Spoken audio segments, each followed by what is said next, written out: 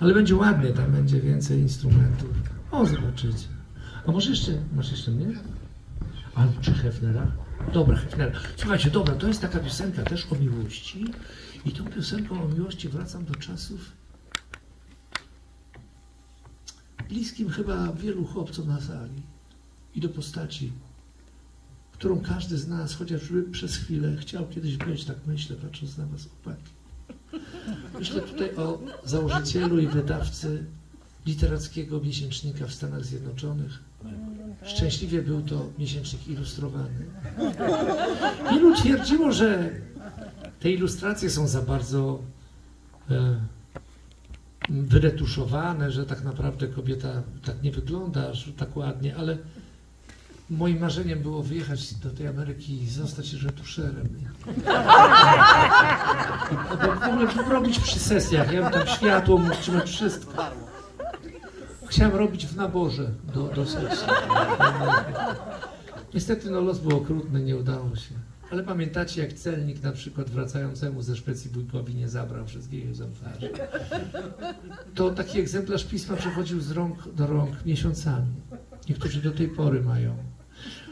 Kolega, który zrobił moje nowe kolano, współautor mojej matury z matematyki, obecnie chirurg urazowiec, słynął tym, że podczas lekcji fizyki siedzieliśmy w ostatniej ławce, jak mu się dało razem, taki tygodnik młodzieżowy, e, on miał na końcu rubrykę osobno i tam były często, no źle przedrukowane, dużo pomniejszone, ale jakieś ilustracje, pewnie na nielegalu w ogóle właśnie pochodzące bardzo często z tej, z tej gazety amerykańskiej, pana Hugh Hefnera, Playboy.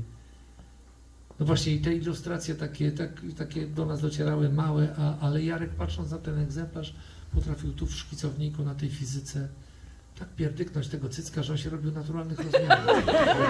Jedyne, co ja wyniosłem ze szkoły, to kolekcję tych rysunków. Naprawdę, sądzę dzisiaj. Że po to warto było czasem tam jednak pójść na zajęcia. Ale tylko na fizykę z Jarkiem.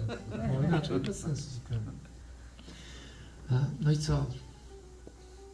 I Państwo, co mam powiedzieć? No 60 urodziny miałem dwa tygodnie temu. Ja do tej pory mam w głębi duszy żal do matki, że mnie od piersi odstawiła.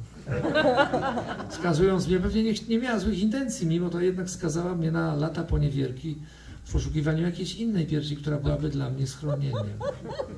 My z kolegą mamy już duże dzieci. Mniejsze, większe. I one wiedzą, te dzieci, że mamy dobre serca że jesteśmy jak najbardziej feministami. Żaden z nas nie sypia z mężczyznami, do, te, do tego stopnia im nie ufamy. Jesteśmy bardzo oddani sprawom kobiet i a tu się mówi fe, ten, ten, jak to się mówi, Mi, mizogin albo um, seksista, albo może co w tym złego? Konfederat. Konfederat, albo jakiś inny, albo jakiś inny idiota, albo albo, albo że nie używa feminatywu. Hugh Hefner nawet nie wiedział, że coś takiego jest jak feminatyw. Ja to niedawno też nie. No słuchajcie, ale jak mam mówić do koleżanki reżyserka? Przecież reżyserka to jest w studiu taka kanciapa. Powiedzieć koleżance, ty kanciapo? Bez sensu w ogóle. Nie podoba mi się to. Nie wszystko rozumiem. Może jestem już stary, może powinienem z godnością poczołgać się w kierunku cmentarza. Ale, ale zanim to zrobię, oddam hołd koledze. No nie kolega, nigdy go nie spotkałem, ani nim, nie byłem mimo tego, że marzyłem nim ani chwilę.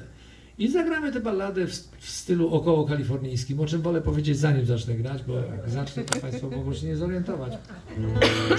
Ale nagramy ją na naszą płytę płyta no, zaczęła się już produkować, gra, dużo gramy, więc nie ma, nie ma jak jej tak szybciutko skończyć. Ale będzie miała tytuł znaczący Wreszcie można o miłości. I tam też znajdzie się ta piosenka, która nosi tytuł Wczoraj odszedł Hefner Hill. Taka wersja znaczy ile razy obrót, nie? Tak, aż się to wejdzie. To jest trudna strasznie dla mnie do zagrania, ale wzruszam się jak ją gram.